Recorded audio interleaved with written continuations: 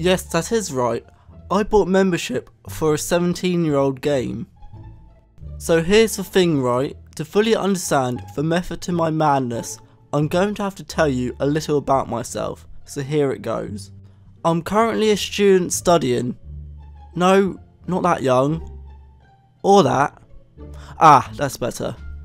I'm a university student, which means I'm in a mountain of debt as I try to find out what I want to do with my life. To help myself out, I picked up a job. Well, two, but that's for a different story. And this one involves me working part time at my university's library.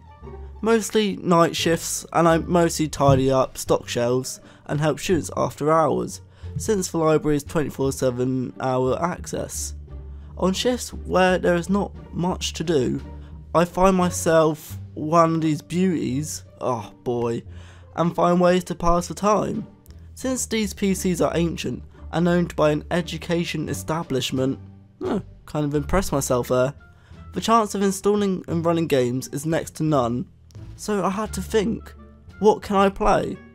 Soon as I started playing .io games such as Agar.io, Slither.io and Krunker.io, among many others, for a while this kept me entertained, and I still go back to these from time to time, but I was still missing something.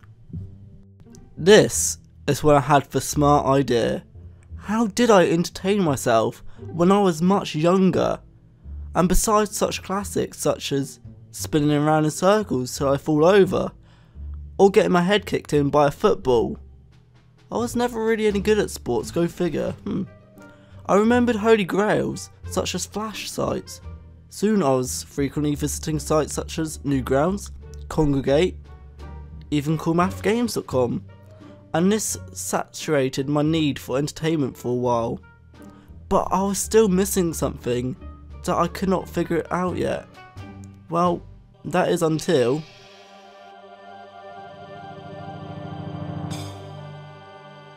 That's right. I remembered that I can play browser games, which I used to spend the majority of my time doing when I was younger.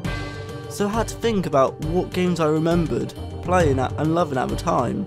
These included RuneScape, Habbo Hotel, Club Penguin, and finally Adventure Quest. See, I had you going there, didn't I? Think this was going to be a RuneScape video, but no, I bought the X-Guardian membership for Adventure Quest. For those of you who do not know what a gem of a game this is, Adventure Quest is an online flash-based single-player role-playing video game that started in 2002.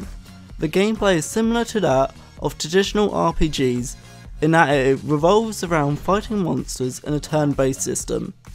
As players defeat monsters, they gain experience points, gold, and occasionally Z tokens.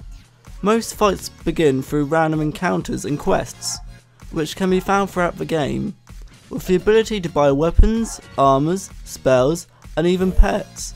Furthermore, those who grinded enough or parted with a bit of real life currency, players can purchase houses with Z tokens, where players can decorate and gather resources, such as health potions and mana. I created my character and started my adventure. Besides for my quick tutorial to introduce the game and death mechanics, even quicker than you Bloodborne, you are sent to the town of Battleon, which is the main hub for all players. And this is how it used to look like back in the day, which eventually evolved to look like this. The main places of interest in Battleon include Yulgar's Inn, a place where you can buy weapons and armors and pick up quests. Aria's pet shop, which, unsurprisingly, you can buy pets. Warlic's magic shop, where you can buy spells and staffs. Robin Hood's archery shop for all your ranged needs. And finally, the most predominant feature, the Guardian Tower. And this is the part where I talk about guardianship. Guardianship, which can be purchased for a one-time fee of $19.95 gives players access to premium content, Guardians get access to an upgraded level cap from 135 to 150, as well as go to more locations in the game that adventurers can't, such as the previously mentioned Guardian Tower, as well as gain access to exclusive items and quests. If you really wanted to be the best, knew your parents' credit card numbers and the funny little three digits on the back, then you can upgrade this membership and become an ex-Guardian, which features even more in-game advantages such as faster XP gain. Of course, as a child I didn't have access to these, so as if to flex on my younger self, I bought X Guardian membership. Not only did I now have access to cool new armour, Guardian weapons, and even his pet, I even got a 15% XP boost, which made the game a little, no really, just a little more forgiving.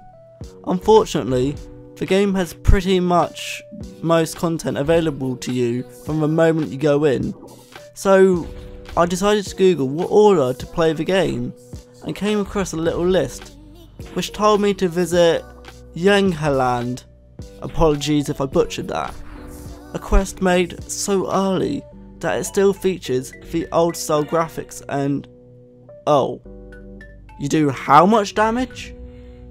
None of the quests are marked with level requirements, so monsters can be random and go from level 5 to 35 without warning the player, so get used to a lot of this, this, this, and this, which eventually led to me purchasing Guardian membership where...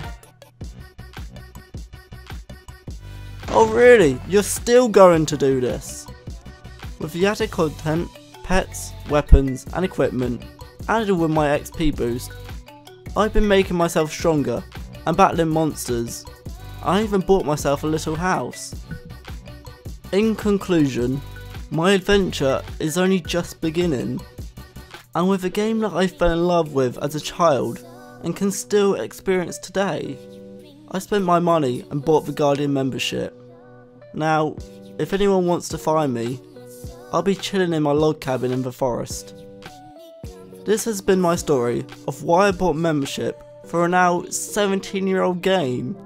That's 3 years younger than I am.